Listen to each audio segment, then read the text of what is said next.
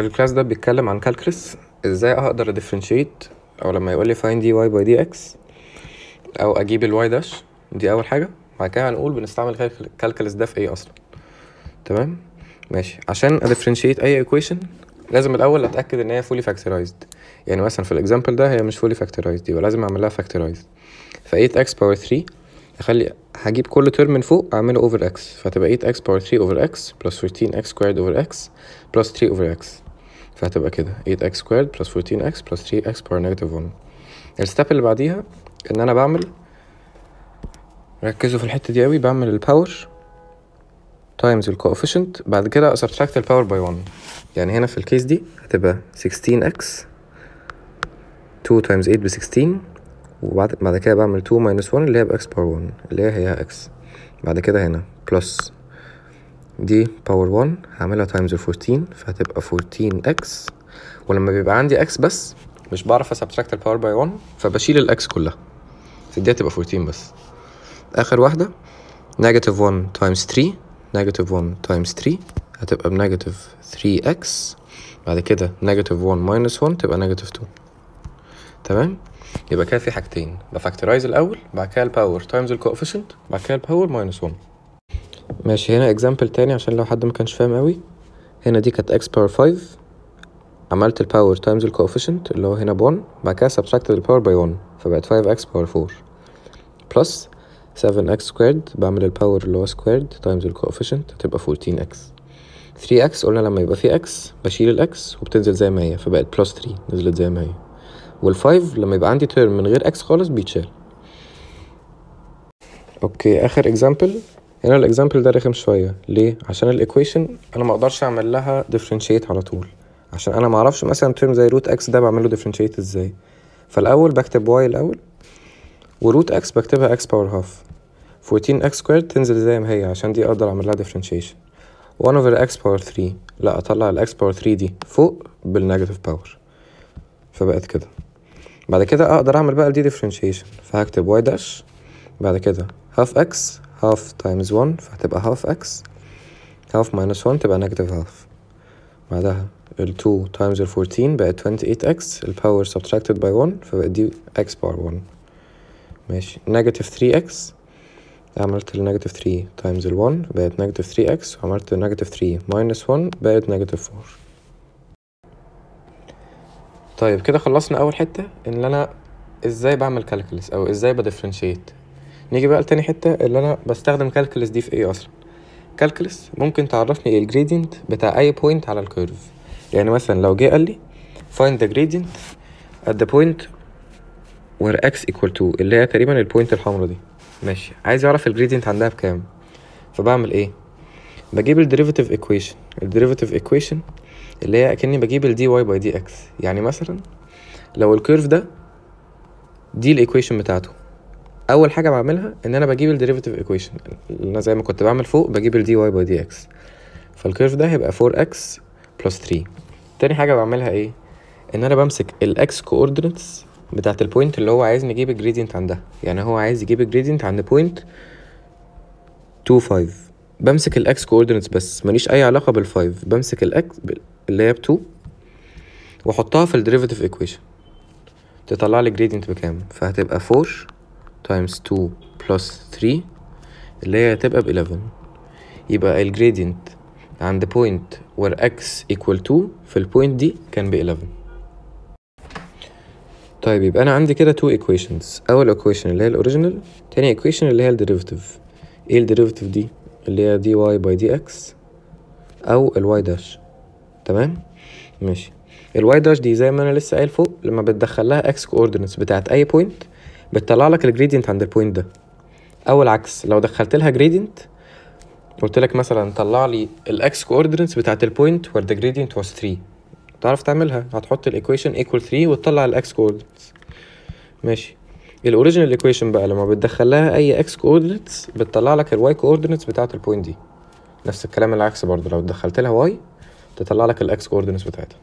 هنا سؤال بيقول لي find dy by dx for this curve. فهعمل إيه ال power times ال coefficient فبقت 8x subtract ال power by 1 فبقت 8x power 1 اللي هي 8x بس. ماشي. 4 x قلت لما رقم يبقى جنبه x بس بتشيل ال x وتنزل ال four ولما يبقى رقم يبقى لوحده زي ال1 ما بينزلش خالص بيتشال. ماشي. بعد كده بيقول لي find the gradient of the curve at the point where x equals 0 زي ما قلنا هنا. عايز gradient يبقى هدخل x في ال derivative equation تطلع لي gradient. ماشي. هدخل x في ال derivative equation اللي هي ال equation دي. بقت 8 times 0 plus 4 تطلع لي gradient. اللي هو يبقى gradient هنا ب 4 طيب نيجي بقى للحتة دي عشان دي مهمة بيجي عليها أسئلة كتير اللي هي ال turning point إيه الحاجة ال special في ال turning point عن أي point تانية في ال curve إن دايما ال gradient عند ال point دي بيبقى ب zero. يعني أنا هنا عندي turn اتنين turning point أول واحدة عند x equal negative 1 تاني واحدة عند x equal 3 إيه ال special عندهم؟ إن ال gradient عندهم بيبقى equal 0 يعني إيه gradient equal zero يعني أكني بقول إن ال y dash بتاعتها بتبقى equal zero. ليه؟ عشان ال gradient هي هي قلنا ال y dash ال derivative equation. إزاي بقى بستعملها؟ هنشوفها في أسئلة دلوقتي. ماشي السؤال ده لامم كل حاجة في ال calculus وممكن يبقى من أصعب الأسئلة اللي هتيجي. فأنت لو عرفت تحل السؤال ده يبقى أنت خلاص تمام فاهم كل حاجة كويس. ممكن تعمل pause تجرب تحله ولو ما عرفتش تكمل معايا هنا. ماشي a curve has the equation y equal 4x squared plus 1 over x. The curve has one turning point. أول ما قال لي turning point قمت قايل إن ال y dash عندها هيبقى equal 0 تمام؟ بيقول لي find dy by dx and use your answer get dy by dx and use your answer to find the coordinates of the turning point. ماشي. أول حاجة ظبطت الإيكويشن. يعني هي كانت 4x squared plus 1 over x خليت ال 1 over x دي ب x power negative 1 بعد كده جبت ال y dash. اللي هي ب 8x minus x power negative 2 ماشي. هو عايز ال coordinates وقال لي بتاعه ال turning point يعني إيه coordinates بتاع ال turning point أنا عندي إن ال y dash ب zero. عندي أي given تانية؟ لأ. فامشي على ال givens اللي هو مديها لي. ماشي. فقلت إن ال y dash اللي هي دي ب zero فهتبقى 8x minus x power negative 2 equal 0 بعد كده مش أنا أقدر أطلع منها ال x coordinates فهطلع ال x coordinates وديت دي الناحية التانية.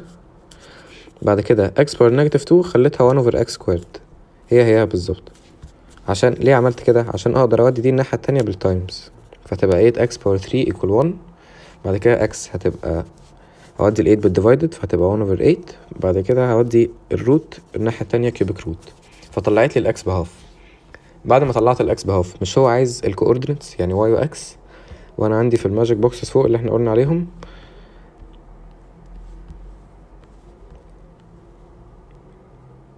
ال derivative equation أنا هنا دخلت لها gradient ب zero اللي هي turning point طلعت منها الاكس بعدها الاكس اللي أنا طلعتها اللي هي ب half هحطها في ال original equation تطلع لي ال y.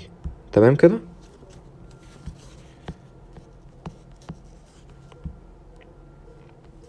فهنا هحط ال x اللي أنا لسه مطلعها اللي هي ب half في ال original equation اللي هي دي تطلع لي ال y. حطيتها ب half طلعت لي ال y ب 3 فبقت ال coordinates بتاعه ال turning point ب 1 over 2 و 3 طيب آخر حتة في ال calculus ودي حتة سهلة قوي وحتى ما بيجيش عليها أسئلة كتير عشان هي سهلة يعني. لو مديني equation لل distance وعملت لها differentiation تطلع لي equation لل speed لو عملت ال equation لل speed دي differentiation تاني تطلع لي equation لل acceleration تمام كده؟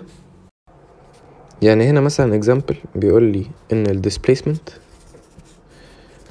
اللي هي x meters وفي رغي كتير في السؤال بيقول لي ان هي is given by the equation x equal t power 3 plus 3t squared minus 9t بيقول لي find the velocity عشان أجيب ال velocity هعمل differentiation لل equation بتاعت ال distance فازاي اعمل differentiation لدي هتبقى 3t squared plus 6t minus 9 power times the coefficient وبعد كده ب subtract ال power by 1 كده طلعت equation لل velocity okay السؤال اللي تحتيه بيقول لي find the acceleration when v equal 0 ماشي. v equal 0 يبقى أحط مكان ال v 0 فهتبقى 3t squared plus 6t minus 9 equal 0 بعد كده هطلع ال time هعمل quadratic على ال calculator هتطلع لي t مرة ب negative 3 و t ب 1 t ب negative 3 rejected عشان مفيش تايم بال negative ماشي. كده طلعت ال t ب 1 هو كان عايز إيه أصلا في السؤال؟